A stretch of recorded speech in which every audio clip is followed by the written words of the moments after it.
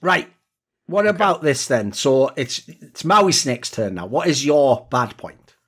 Mine is uh I, I just don't think that any of the the North American rosters, so Liquid, EG, Complexity, I don't think any of them can succeed in their current forms. Uh, there's just there's just glaring flaws in all three, and if I if I were to go through them, uh, Liquid just doesn't seem like Shox is integrating well at all. I think that's just like uh, on paper, just very obvious. I think Nitro could could catch up to speed, um, and then if you're working with the Elige, um, Elige Naf, oSee core, and then Nitro catches up to speed. I still I don't know if Shox is going to catch up, so I think that's the flaw there. With EG, Brehze and CeRq are just so far behind where the other three are for some reason, even though they're the guys that see like have been just playing. I don't know, they've been playing a lot, right? But they just they, uh, there's just clearly a problem with those two guys, and then Complexity.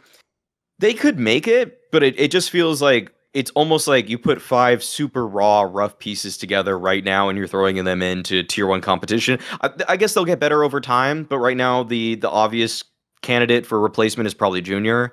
Uh, just he's been playing pretty poorly. Again, like I think I think I think complexity probably has the most uh, potential in that the players could grow, but I feel like there's something that's just going to limit all of these rosters. And I would, I would just personally like to see a shuffle. I, I think that you could build two very strong rosters out of those 15 players, but I don't think there's room right now for there to be three teams. What do you think, Snappi?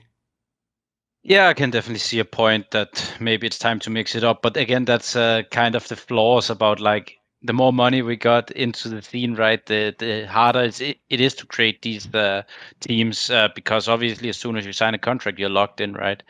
Um, I would obviously be willing to bet on Brehze because I have such a like I felt he was well pretty much the best player in America when EG was on top. Uh, I think he had a good stretch there, so I would always gamble on him still. Um, but there probably is a case that you could make two very good NA teams, but uh, it's probably true that there might not be room for, for free at the moment. Um, I guess time will tell. Obviously, it's also a short time they've been together now with these rosters, so we have to give them a bit more uh, leeway in that sense. But uh, yeah, I can see a world where there's probably only room for two. But it looks like some NA players are coming back from Valorant, so maybe they will be free soon.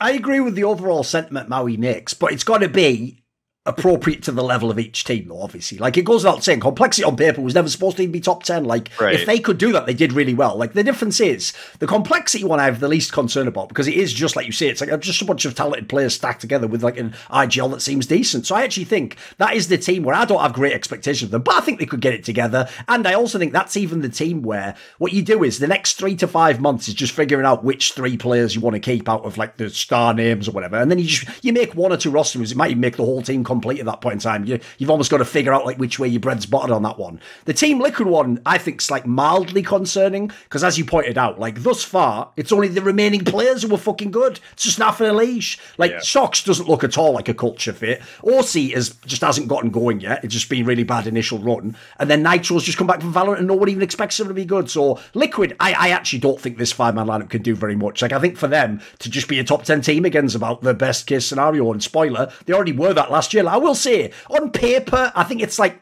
in light of how the players actually played last year, I think it's like a tiny upgrade on paper. But their problem is they're another team that didn't think of the fact that when everyone else makes the roster moves, for me, half of the team just moved above them already. So I think they're in a bad spot. And then the EG one, I actually think is a waste of everyone's time. Like as you just said with some of the player names you listed off there, like like the idea of the guy coming back from Valorant's better than CeRq. Well, then why is CeRq in this team? You are the primary AWPer, which is supposed to be, especially in light of the previous conversation, one of the most important roles on the team. Like the difference is, I could get away with like I could maybe hide Brehze for a month and a half if he needs to get shit together. I can't hide a fucking AWPer. And I don't want to hear anyone go, it's a part. That doesn't exist. That's just a bad AWPer, badly used and wasting the economy. So to me, I think the CeRq one, like the time has started on that, mate. Because in, in, like two or three months, if he hasn't turned it around, you've just got to get someone better. Like they've got to have a good player in that position. And I think in general, the mix in EG doesn't make any sense at all to me. So I'm sort of with you. I don't really think appropriate to the level they're all at. I don't think they, any of them do anything relatively. Because remember, on paper, Liquid should be like a champion.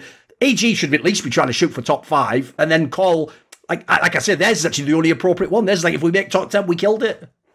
Fair enough. Yeah, I think I think right now that what's what's so striking about the EG roster is that when when I saw them at Blast Play, it was almost like the trio of the old Cloud Nine players in Stewie, Rush, autimatic were just clearly the best three for them. Like I the Brehze angle, like everyone is willing to give him a lot of time, and I was a huge Brehze fan. Like I looked up to him a lot. Was years ago now, though.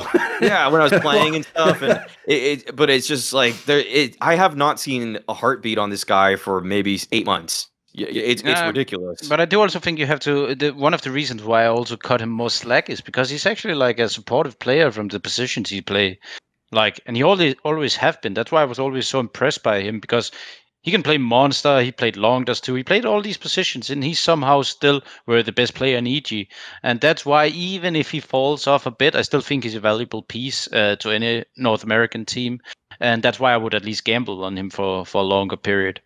I also I think his eye test actually checks out better of the two of them. If you watch his actual games, you'll yeah. see some kills from him that look really good. Like he looks like the skills are still there. The CeRq one, I don't even know about that at all, mate. I, would have a hard time with no nameplate on picking him out. No, to keep it to keep it completely 100. I mean, I, I, CeRq is at the absolute bottom of this team for me. It, it, it CeRq, CeRq, CeRq is just. I don't know if he, he's beyond repair for me right now. There's I don't know any future. I don't know what even would need to happen to get this guy back on track. This video was kindly supported by Ahmed Hadjou, Iskander, Mac Pugnatio Rajcula, Travis Goff, Adam Ochs, Animosity, Butt Pounder 420, Hades, Jensen Goh, Joseph Ginsburg, Kovacevic, Tobias Bernasconi, Toucan, William Peyton Lacy, Zoomba, Zyrathenia, and a special thank you goes out to Jerky's Minion as always. Do you want to suggest a topic or a guest for some of my content? Want to ask me a question in my monthly video AMA? Do you want teasers? Find out who the guests are going to be on my shows. Maybe you want to be part of one of those lengthy but in depth and interesting discussions about esports with yours truly. Well, if so, put your money where your mouth is and join the Scrilluminati today via the Patreon link in the description box below.